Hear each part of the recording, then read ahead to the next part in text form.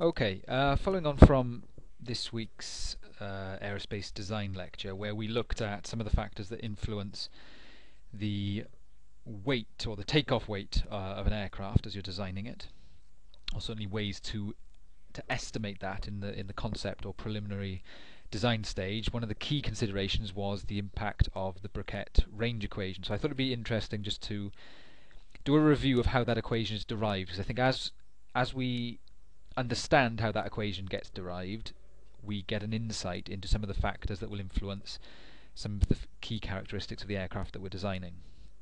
So I'm just going to go through a derivation of this equation. I know you've seen it before, um, but we're going to do it again from first principles. Um, and as I'm doing this, have a think about how these things that impact the Breguet range equation um, will affect the design of the aircraft that you're working on. So, first of all, let's um, let's define the fuel consumption of our aircraft as F. So the fuel consumption obviously is the rate of change of weight of fuel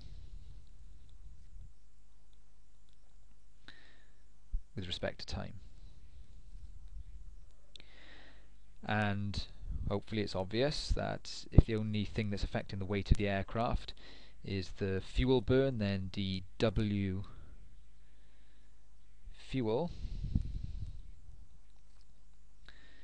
is going to be equal to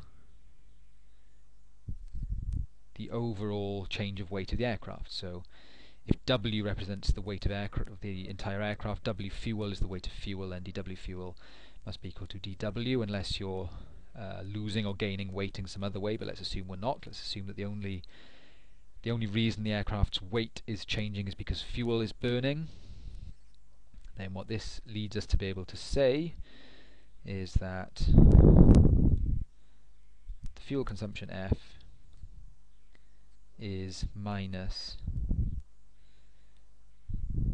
dW by dt. Hopefully that's kind of obvious. Now, what about if we want to consider this derivative? The rate of change of uh, the aircraft weight with the range.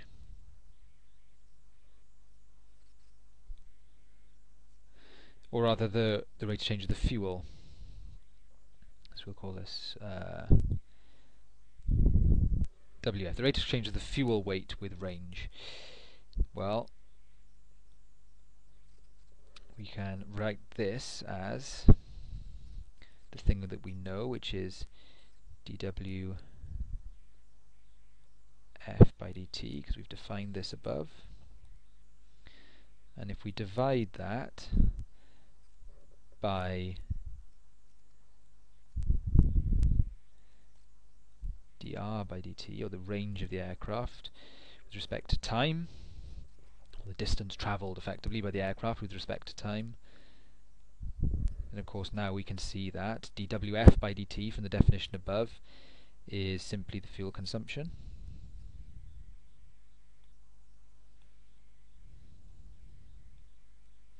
And dr by dt, or the rate of change of distance covered by the aircraft with time, is simply the cruise speed v of the aircraft.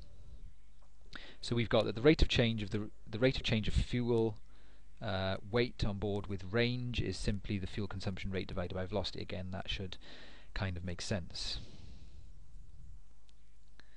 Now let's write down an expression for the range of the aircraft with respect to velocity and time. Again, this just comes from the def basic definition of velocity and the range of the aircraft, just think of this as the distance covered by the aircraft, is simply going to be the integral between the times considered, so the distance covered between t1 and t2. The velocity of the aircraft obviously could be varying, so we have to integrate with respect to time. So the distance covered by the aircraft, the range, is the integral of v with respect to time. Now what about if we can write this as an integral with respect to weight? So we change our dt and write it in terms of dw. Well of course we can do that because of this relationship up here. We know how dw varies with respect to time, so we can rewrite this integral as the integral from when the aircraft or the fuel weight is W1 in fact this is aircraft weight because we're going to use this expression at the top is W1 to W2 and then we're just going to substitute in for dt and we get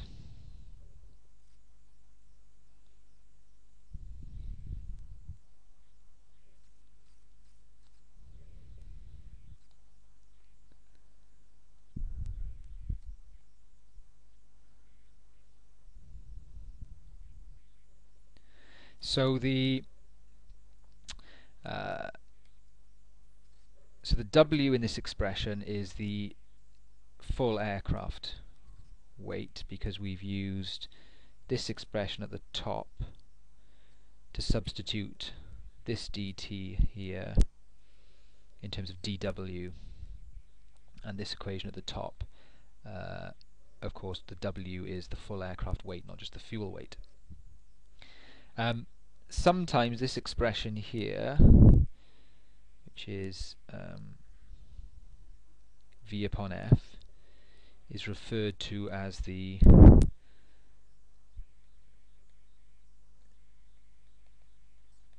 specific range. Now let's make the assumption uh, the type of aircraft we're dealing with here in this case is a propeller aircraft. So we're transferring power from an engine via a shaft to a propeller. One of the things we're going to need to define is the propulsive efficiency of this system, the efficiency by which the engine can transfer its power output down the shaft through the propeller. So we'll call this the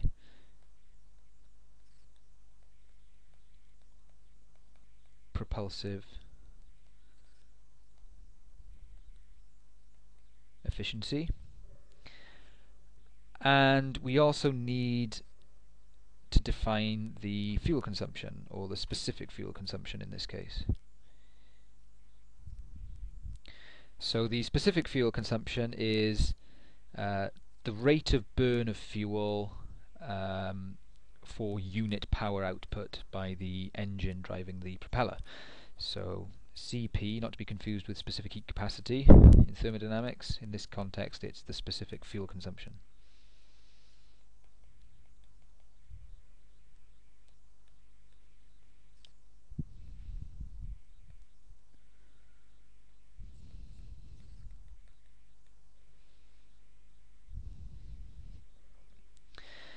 So hopefully we can see that the actual power delivered that gets converted into thrust through the propeller is going to be eta times the power output from the engine. So the actual power delivered is the multiple of the power delivered by the engine and the propulsive efficiency. And our fuel consumption, F, which we've used up in the top section there, we can simply write as Cp times uh, the power of the engine because it's the actual power the engine is delivering not necessarily what's being transferred to the air via the shaft and the propeller that is dictating how much fuel the engine is burning. So there's an expression for fuel consumption in terms of specific uh, specific fuel consumption of the engine um, and power and a relationship with how of how that power from the engine gets transferred to the air. Now of course we can always work out power as um, force times velocity. The force delivered by um, an engine delivered by the velocity it's travelling at gives us the power output. So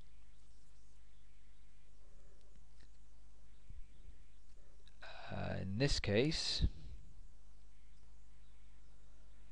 the the power that is delivered to the airflow, which is P, is force times velocity, and of course v is just the cruise velocity, and we can write down what the thrust required that's delivered by the engine is, because if CD over CL is our lift drag ratio, and the lift is balancing the weight,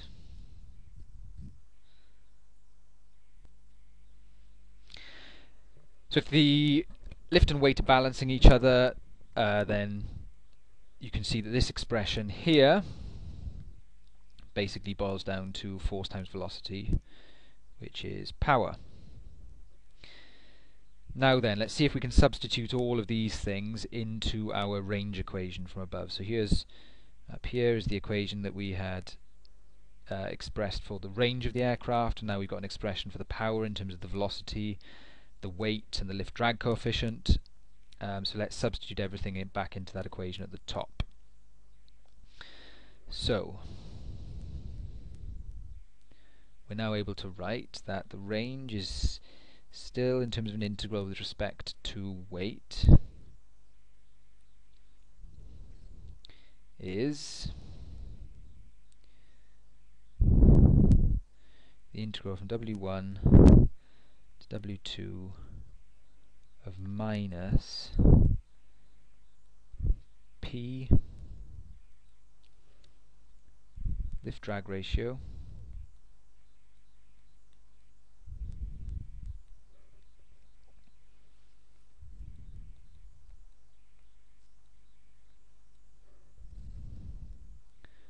and then we need to divide all of this by specific fuel consumption times engine power.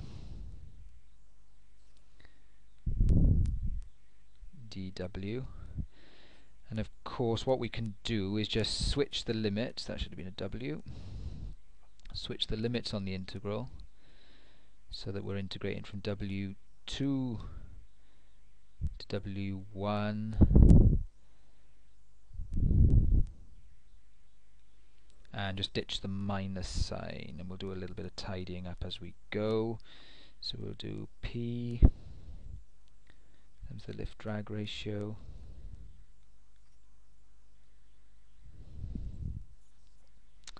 And then we can write this all over W CP times engine power dW.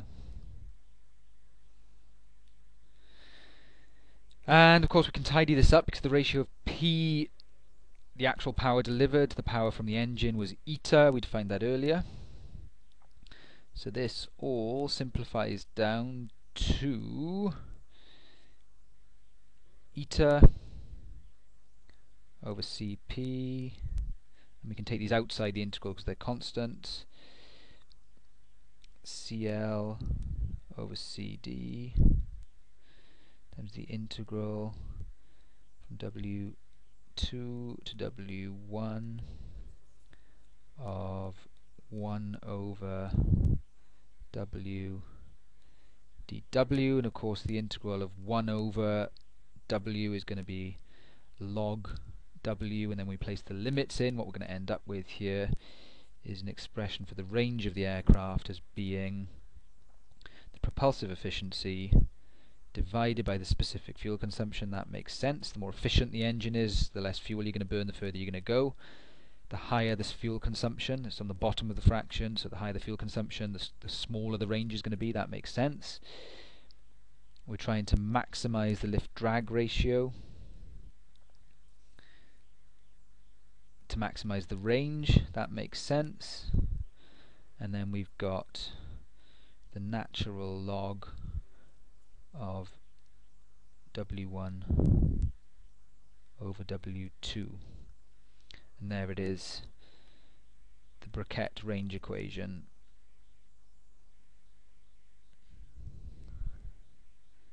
for a propeller-driven aircraft. So hopefully just looking at that mathematical derivation of the equation gives us some insight into why these parameters, the propulsive efficiency, the specific fuel consumption, the ratio of the weights uh, of the aircraft at the beginning and end of the phase of flight that you're considering, and the lift drag ratio of the aircraft are the key parameters that dictate the range of the aircraft. Of course, we can quickly convert that into an endurance uh, equation, or an equation that describes the endurance of the aircraft simply by noting that speed is distance over time. So endurance, or time, will be uh, let me think about this. It'll be um, uh, distance which is the range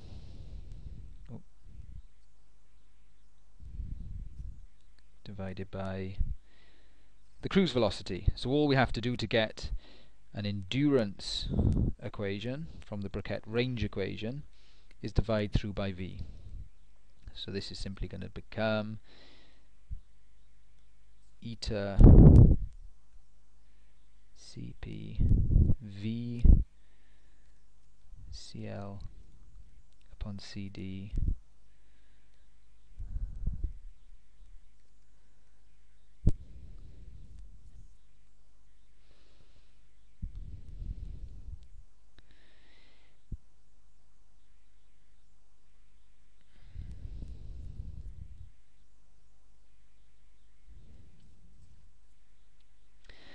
challenge, of course, of understanding the physics of the endurance equation is that the velocity of the aircraft and the lift-drag ratio of the aircraft are going to be coupled. The, the lift-drag ratio achieved is going to be a function of the flight speed of the aircraft. Um, so there's a slightly added complication to understanding the impact of these parameters on the aircraft endurance. But again, understanding the physics uh, the mathematics of the derivation of these equations hopefully will help uh, get an understanding of of what is impacting the design of your aircraft.